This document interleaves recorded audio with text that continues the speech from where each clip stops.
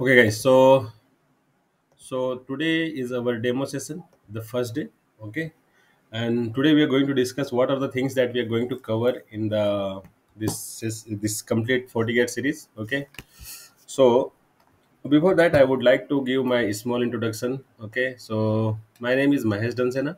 Okay, my name is Mahesh Dansana. I'm having 10 plus years of experience. Okay, 10 plus years of experience. Is uh, currently I'm working with one of the organization, PSR IT Services, which is a sales and services based company. Uh, where my responsibility is to handle multiple technologies like FortiGate, Palo Alto, Sophos, and many other technologies like Checkpoint and uh, uh, SonicWall, uh, Juniper. Many other technologies are there that I'm, I'm attending and uh, I'm doing the you know I'm, I'm giving the service to the clients based on their requirement and based on the SOW we are configuring. Okay. So in this 10, I'm having, uh, as I said, like I'm having 10 years, 10 plus years of experience. So in this 10 years, I started myself as a desktop support engineer only. Okay. Since in 2013, I started as a desktop support engineer. From there, I started, uh, I kept learning. Uh, okay. So I would like to suggest you guys don't be, uh, you know, don't be stick with your current uh, roles and responsibility because market is a very very you know grooming um, the fast grooming okay? This it industry is a very fast grooming that we have to be you know uh, we have to you know uh, chase this chase that uh, speed right? So uh, earlier what happened uh, as a network engineer we are just responsible about the networking then the connectivity of the router and switches and the user connectivity correct? Nowadays the organization is looking the engineer who is having a you know multi multitasking like in cricket we are having all rounder right all rounder who can do a you know bowling batting and some and the fielding and many more things that responsible who can handle all the situation right? So like that if you are looking for the you know in your great career and great future in this industry so you you need to be uh, you need to do some dedication and the hard work for some years to be to you know to to complete these things okay? So uh, so nowadays the market requirement is routing and switching not only ccna also ccnp label okay? After that they are not just looking for the FortiGate they are also looking for the Palo Alto okay? Palo Alto and they're looking for the checkpoint. They're looking for uh, anasonic wall sophos many other things right? After that they are also looking for the aws cloud any any cloud services right? And uh, some some part of uh, our uh, this server parts okay? So by listening this this sounds like uh, since how long i need to learn for this that these things right? It is very easy when your fundamental is a strong. Fundamental is a strong link ccna if, if your ccna is a ccna fundamental is a strong then you can you don't need to be you know worry about the com, to complete the ccnp to complete the fortigate to complete the palo alto to complete the checkpoint to complete the sophos and many others other firewall technology along with if, if you talk about the juniper also you can if you talk about the aruba you can okay? So now now aws also you cannot it will not that much of uh, you know tough. In after that uh, if you are experienced that the organization will expecting something extraordinary from your side like sdn technology sd-wan technology okay? Sd access technology many others technology as there okay? But we cannot predict who who the which organization is looking what right? But whatever our capacity that we need to be uh, learn that correct am i guys uh, am i audible guys please respond Yeah. Yeah. i'm audible correct Yes. Yes. good uh, someone new is on queue right okay uh, salman do you have any question please tell me salman? No, sir, you asked no, uh, you are audible or not, so that's why I'm replying okay no through. no problem no problem no problem. So unmute yourself and ask me instant question because i'm unable to see the you know message box okay?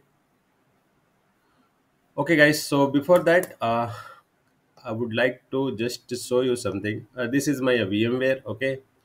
And how we are going to do the you know how we're going to perform our uh, uh, this practice. So in in here okay? Here itself we can we need to you know like this is this will be our topology. So let me stop this all these things okay? So we will our our practice will be uh, uh, possible into eve-ng only. So for that you need to be you need to have a laptop or desktop with a good configuration okay? Minimum at least 16 gb of ram for the better performance okay? And the things which you are going to cover that i'm going to you know tell you one by one. So just follow this. Very first day uh, we will uh, on monday we will discuss about uh, our uh, fundamentals. Routing fundamentals and not firewall fundamentals okay? First day we are going to discuss about the fundamentals. Then second day we will i'll help you guys to set up the lab okay in your laptops. Uh, after that we need to do a basic configuration of the firewall the first time how you're going to configure the firewall by default id password what is the by default id password and what is the by default uh, management ip of this firewall okay? After that we are going to discuss about the ipv4 static routing and the default routing okay? So what is the static routing? I believe you guys are aware about that static routing and the default routing okay? So that we are we are going to configure in the c. First everything we will first will do a configuration with the graphical user interface mode. Then after that the same thing we will configure in the cli mode and also we will go in every every every uh, concept we have some you know tshoot command. So in every everywhere we will use a different kind of troubleshoot command okay? So for that also we need to understand about the cli mode. Got it? Clear? After that uh, we'll will uh, fortigate is not a by default a zone based firewall. We need to create a zone to establish the communication between one zone to within one zone to another zone okay? Clear after that we we have to go we, we need to co- you know configure rip and uh, ospf how we are going to configure rip into the fortigate? How we will configure ospf into the fortigate? Ospf and also we will configure you know eigrp into the routers uh, like this okay? Like this we have to configure the uh, eigrp and uh, ospf okay? So this is our ospf top- topology. So here you will get to know uh, i'm just showing you. Uh, this is our ospf okay? Ospf network which is a part of this router one okay? This r1 is a part of area 1 this this network is a area this is a part of area 2 this will become a part of our area 3 then this will become our part of our area 4 okay? So in every area these are ospf this is our area 0 and backbone area and this is our area 1 and this is our area 4 but there is an eigrp also right? And this is the ospf area 2 which is indirect which is not directly connected with the area 0 so how this routing how this uh, you know this network will establish the communication uh, without directly connecting with the area 0 that we will cover how this how the redistribution is possible from the uh, in uh, from eigrp to inside the ospf how we are going to uh, you know um, exchanging the routing table between the two different uh, routing protocols. Clear? In the same way in the same way uh, we have another concept as well. So after ospf we have to go for the nat. NAT is nat is a very important concept. I believe you guys are aware about this. Anyone you guys are aware? Hello? Yes, sir. guys am i audible? yes. okay Yes, so Yes, sir. so what i'm telling you uh, so these these things uh, the, uh, this uh, natting natting why we are why the natting is requirement? Let's suppose we have a internet okay? Let's suppose we have a internet. Uh, this is an our let's suppose where do i need to? This is a user okay? This is a user inside which is directly connected with our um, uh, firewall okay? And firewall from uh, one of the isp we connected uh, we we you know get a one uh, you know internet connectivity from this isp so isp will al- definitely give us some ip address. Let's suppose 1.1.1.1 and the gateway will be a 1.1 dot anything 1.2 we are considering. And this is our user which is connected with the switch and switch is this is our lan network and here we are having 192.168.10.0 series slash 24 this series we are having. So by default private ip cannot communicate with the public ip and public ip cannot communicate with the private ip okay? So so how the the user can how the user can go you know by using a private ip how the user can reach to the Google, Facebook, YouTube means public networks. That we need to create a is- uh, you know we need to first we need to discuss about the natting, what kind of natting we are having, what kind of you know the static nat, dynamic nat, static paired, destination paired, destination network. Many things are there that we will cover in this journey. Okay, and also we need to uh, you know create some topology about. Uh, let's suppose we have a some this, this with this network we have a one server this is our official web server which we wanted to allow uh, this is our internet and under the internet like us we have we are we are not directly connected with the youtube facebook but we are able to still able to access the youtube facebook right from the, our personal mobile network correct? Yes, sir. like how how the organization is is you know uh, uh, uh, running their website for the uh, public user. Let's suppose this is a user how this user can access this private user uh, their website uh, by hitting the public network okay so the out for how we are allowing the uh, ex, to access the outside user to to enter in our our, our network our private network okay? Not only the in- uh, pub, uh, you know inside to outside but outside user also can reach to our inside by by by the nat nat concept only okay? Clear? Yes, sir. guy please guys just let me know if i'm going fast in case of it if you ask me to if you tell me to go slow i will i will go slow. Otherwise i'll consider you everything you guys are getting okay? Slow or is it fine? The speed? Sir. Okay. all okay? Yes, so uh, there is many network static nat dynamic nats are there okay? So now after that uh, uh, after that we have to go we need to understand about the you know um, user group authentication. Use let me let me see the message okay? Just a minute guys.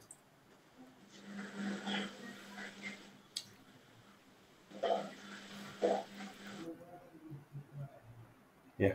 So so group authentication user group authentication how you are allowing the user to you know in for the inside or outside access okay after that we have to create a side to side vpn let's suppose we have we have some branch these are branch are connected with the internet okay firewall. And this firewall and this firewall both the firewall is connected from uh, one of the uh, internet. And there is a switch and switch and inside the switch there is user are seated okay.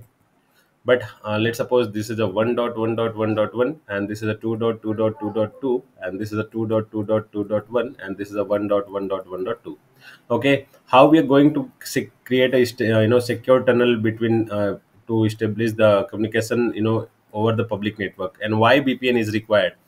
Okay and what uh, what are how many ways that we can configure that vpn and uh, after that um, we have to consider configure the vpn with the graphical user interface mode and the cli mode.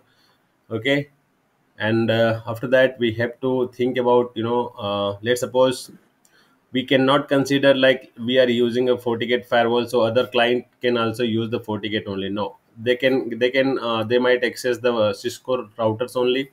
They might uh, access uh, they might having a you know Palo Alto. They might having a checkpoint. They might having a Juniper.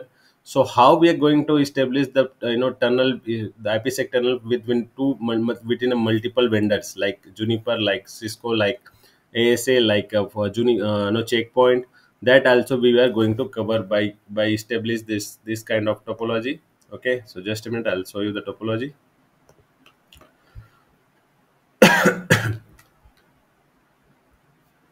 So if you take about the ipsec tunnel so this is about the one to one like when fortigate to fortigate. but when we don't have a fortigate firewall in let's suppose we are having a fortigate, but another client is having a router another client is having just a uh, you know uh, firewall uh, asa juniper or the another like you know palo alto then in this condition how we are going to you know configure uh, ipsec tunnel between two different uh, multiple multiple vendors we can say. Okay? So how their you know into in user uh, uh, connectivity is possible that we can we can uh, we will do the we'll do the over the practice practice only.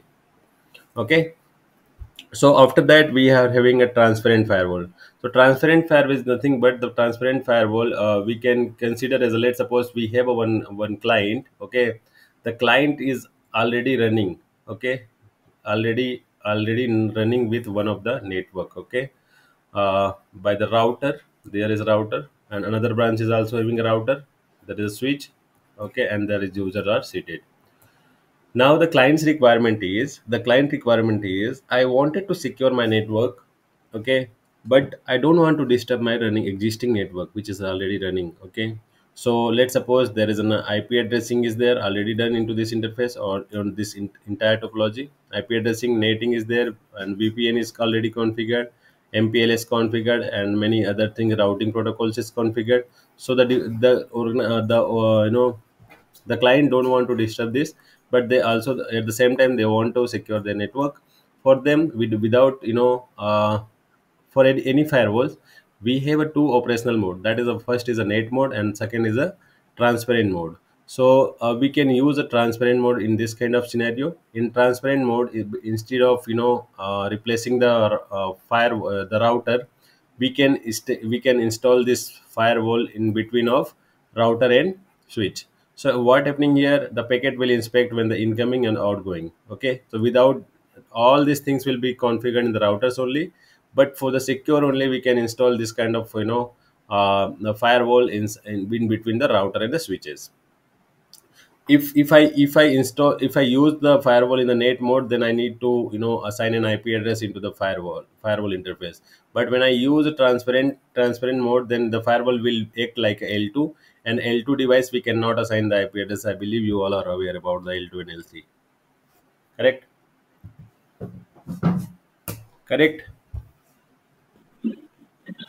Yes. Sir. Okay, so these are the things that we are going to cover one by one, and after that we have a VWire. VWire is also similar to that. Okay, after that we are having uh, the kind of uh, uh, technology which is known as the HA. HA is nothing but uh, I believe you all are aware about the FHRP technology, First Hop Redundancy Protocol. Under this we have we are having a HSRP, HSRP, VRRP. Okay, VRRP and GLBP. Have you heard about this technology? No, sir. No.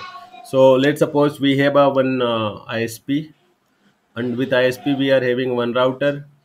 In this router we Sir, have HSP, HS, Yeah, HM means as a backup, no, sir. right, Standby. right, right. 192.168.10.1 we are having a you know interface IP of this.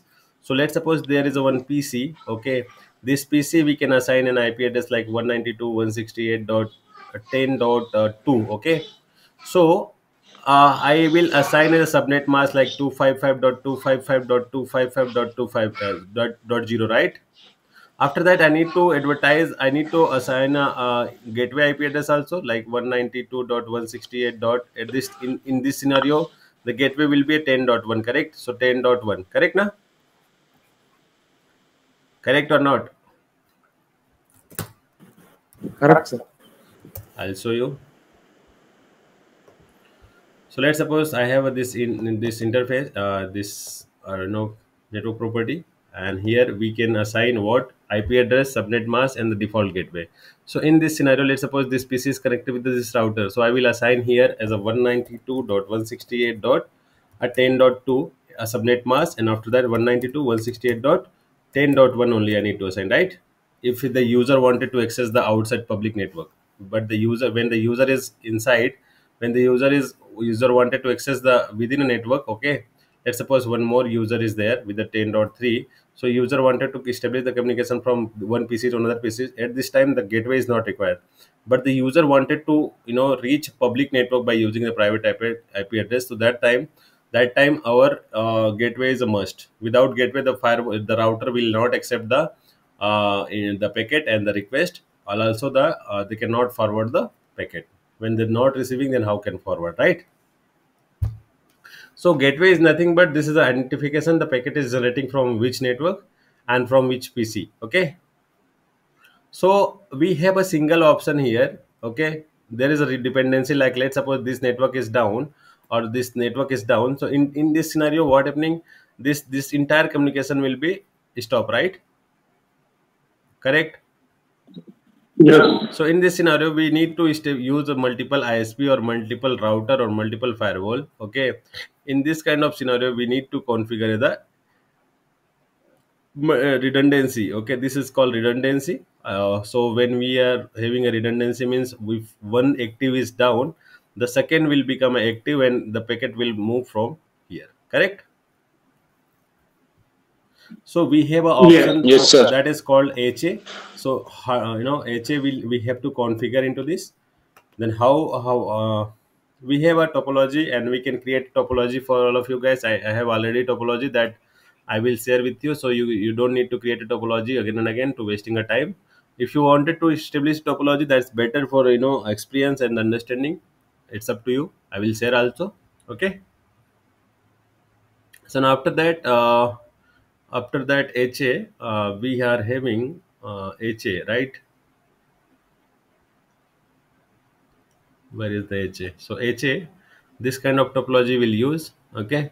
So this HA is a very impressive concept in the firewall. Uh, whatever you have learned about the HSRP, that is a different concept. The concept is the same, but the way of configuration is very uh, different. So in the HSRP, uh, we need to configure uh, all this configuration in the both the device, right? Even R1 and R2. But when we talk about the firewall, the when you when you configured in a one firewall the all, all- automatically uh, all the details will be uh, synced to uh, this firewall. So we don't need to assign an ip address also into this interfaces. Uh, everything will be synced from uh, active router to the uh, the passive router uh, passive firewall okay? Active firewall to the passive firewall. Got it in case of any packet if you see here only ip is there right in the firewall uh, one but no, there is no ip in the firewall two correct correct? Yes. So how, these these are the way how we are going to configure the FHI uh, this uh, HA into this FortiGate. And after that we have uh, some more topology uh, concept like HA uh, server load balancing. So SLB uh, server load balancing. Let's suppose we are having one Amazon office. Okay, so we have uh, some servers here. This is a server one. This is a server two, and this is a server three, and this is a server four. All are connected with one of the switch. Okay, all are connected with one of the switch, and switch is connected with the firewall, and firewall is connected with the internet. And it, this with this internet, lot of users are connected, right? Public like like let's suppose this is a AWS. Okay, Amazon Web Server, uh, Amazon or a Flipkart we can consider as a Flipkart. Okay, this is a Flipkart of Flipkart network. So we are like in festival season, we are uh, hitting the we are trying to shopping something right correct now so the, Yes, the the the request is getting very increased right and the request will come to the firewall and firewall let's suppose there is a one one firewall one server only inside so the traffic is high right the, the, the, in this condition the based on the firewall capacity the firewall there is chances the firewall can down right So in this in, in this kind of scenario, uh, the service provider uh, like uh, uh, this Flipkart can in- increase their server capability. Correct? Correct now. So how the firewall can distribute the traffic which is coming from the public network? How the firewall can uh, distribute the traffic to the server one, server two, server three, server four? Okay. So these are the things that is that is now on the server load balancing, which is available into the FortiGate only, which is not available into any other firewalls. Clear? Yes. Then we have to create create admin profile like how let's suppose we have a uh, you know one ongoing network and we are a senior there. And under this uh, uh, in the same of organization some more new joinee has joined to the, our organization. Then how we are going to create a you know read access or uh, uh, read write access for the you know particular engineer okay? That is called that will come under the admin profile after that, we have a VRRP. VRRP is also very impressive as compared to the CCNA. Whatever you have learned into the VRR, VRRP, Virtual Router Redundancy Protocol, right? So that is a different, uh, and here we need to uh, configure in a different way. Okay, clear? Yes, sir. So after that, uh, uh, ADVPN is there. ADVPN, we have to configure ADVPN like uh, in a this kind of manner. Uh, close live, and let me delete this. Just a minute, guys. Close live, and ADVPN is there.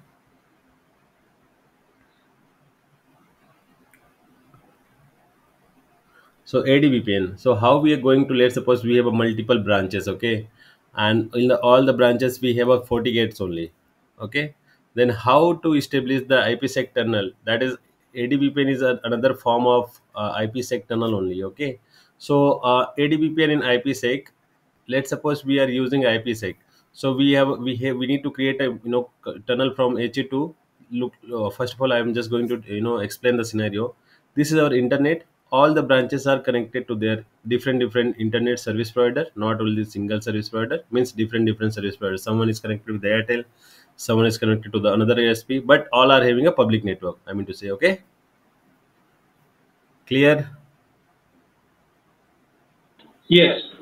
So in this scenario, we are having a FortiGate, 40 gate, FortiGate, 40 gate, and the FortiGate only. Okay. So let's suppose we'll we'll discuss about the IPsec tunnel first, like side to side tunnel. So when we create a tunnel from HO to BO, these all are a BO. Okay. So HA to BOs, when we created a tunnel in this kind of scenario, what happening um, that uh, this this user cannot communicate with this another branch or this branch cannot communicate to other branch or the, in the vice versa.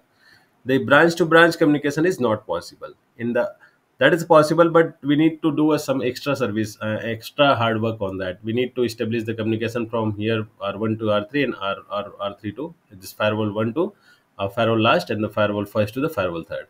In this kind of scenario we need to do the configuration. Then then the branch to branch can establish the communication but when we talk about the ADVPN, this kind of scenario is not required. Once you configure the ADVPN, the tunnel has been created and automatically BO to BO can start the communicating. Okay. So no extra admin services required. Clear? Yes. So after that, guys, uh, we have some other other concept like 40 dial-up VPN. Dial-up VPN is also available into the FortiGate only nowadays. Uh, another firewall, uh, if you talk about the Sophos, uh, Palo Alto, and or another, they are having SSL VPN only. Uh, f- but FortiGate is providing a SSL VPN along with the dial-up VPN as well. Okay, dial-up VPN is a free, but SSL VPN we need to uh, you know purchase a license to to to you know enable the SSL VPN services. So now another vendors are selling this uh, SSL VPN, but still FortiGate is providing the free on the dial-up VPN. Okay, that how we are how like let's suppose a work from home pandemic is there, okay, and work from home is going on. Okay, all the users are connected to their homes. Okay, homes and sitting their uh, their their you know broadband connectivity and that they are connected with the uh, you know office network. This is our office network and some servers there. How this user can access our in you know from outside to uh, in our in in uh, internal server let's suppose we have a you know some just a minute guys just a minute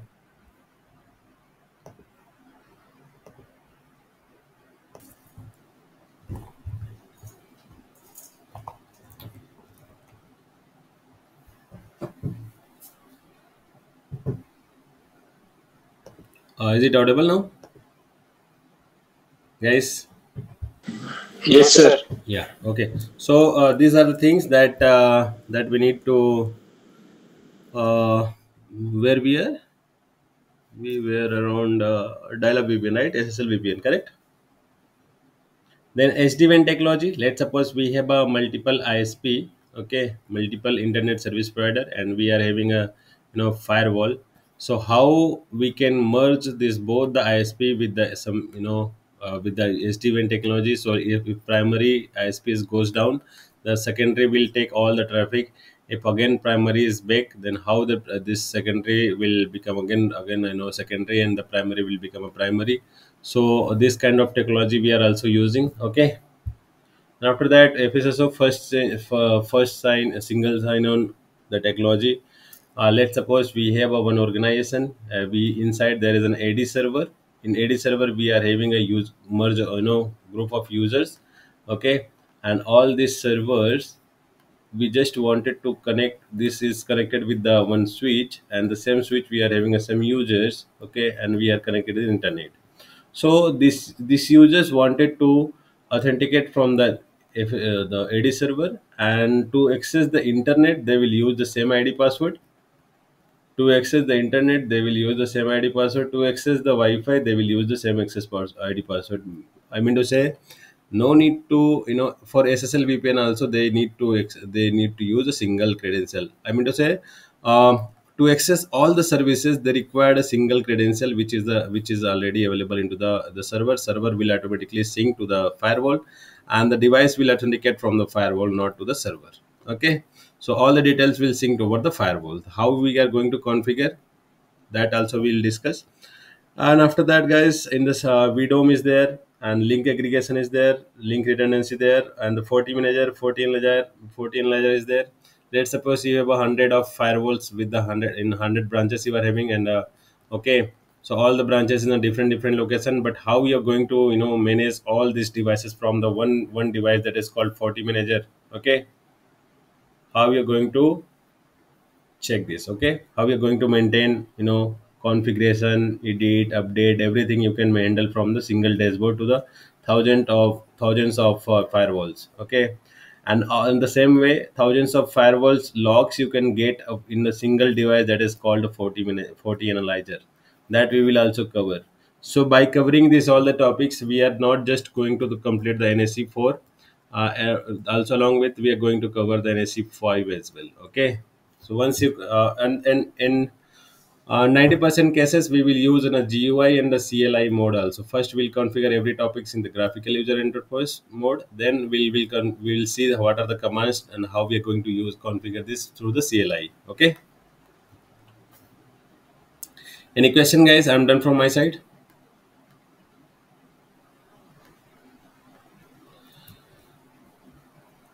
Any question? Anyone? Yeah, I do have one question. You said like about the virtual domain. It's a virtual domain is similar like a uh, where we are using in Viptela, similar like that's a we manage, no? Uh, you're talking about the uh, virtualization about this uh, lab setup, or you're talking about the FortiGate? Yeah, FortiGate, not that one. Like you know, you said like uh, virtual domains, like a link aggregation. link aggregation is a different thing like let's suppose uh, let me open this No, no, you said like a previously like a only one application can manage like a different different sites, like a hundred sites are there, hundred firewalls are there. We can manage with that one. yes yes Yeah, is that similar like a we manage, no? Like okay, in Viptela we use one call yes we yes manage. yes yes yes yes yes that is you know uh, everywhere in every vendor we are having like if you if you talk about the FortiGate we have a Forti manager if you talk about the Palo Alto we have a Panorama okay Panorama is there okay so like this only this is a centralized management devices. It will come with the hardware as well as software okay? And as well as virtualization also. So we can we can purchase a mm-hmm. license and we can run this into the, our virtual machine in the google cloud or gcp or aws or anything okay? Got it. guys anything else? Any other anyone so by by this uh, journey you get to know many more things okay? Uh, not only about the if you are having is basic understanding about the ccna then it will be a very easy to understand okay? If you are if you don't have that much of a skill but uh, for that i would like to suggest you guys at least you need to be uh, know you need to aware about the public ip and the private ip rest you just left on me. I will uh, i will take care of all of you and how to you know uh, based on your skill set everyone is having a different different skill set then according to skill set i will start from the very scratch of every topics. Every topics will take uh, uh, one and a half hour and every day we are going to cover one topic from monday to friday at the same time 9 p.m to 10 p.m uh, at the rest rest of the time uh, from saturday to sunday will we are not going to teach uh, you know get take the class. Okay? Okay guys and if you guys are as as i see like all of you are not working right you all of right not working correct correct now Yes, sir. so we can we can take a class in the morning also right like 10 to 10 to 12 or uh, 12 to 2 or 2 to No, 4 no, no, it's not possible to me. No, sir, it's not possible. so at what time at after 4 Yeah, i- is it that 9 to 11? It's a perfect time. 9 to 11 will be tough for me because i need to go to the office office to i have multiple batches also but in case of any any chance Can you plan for 8 to 10 itself? i have already batch uh, 8 to 10 so we can we can plan for the 6 to 8 okay 6 to 8. uh, It's tough or to 7 to 8 What about 8 to 9? 8 to 9 i am already having the batches going on 9 to 10, 9 to 10 is a free okay and 7 to 8 is a free 9 to 10, can you plan for a 9 to 10? yeah no problem Okay. okay so Okay. from monday Evening 9 to onwards 10. please be available on time in case of any question answer you can text me on the group i will reply over there okay Okay. okay guys see you so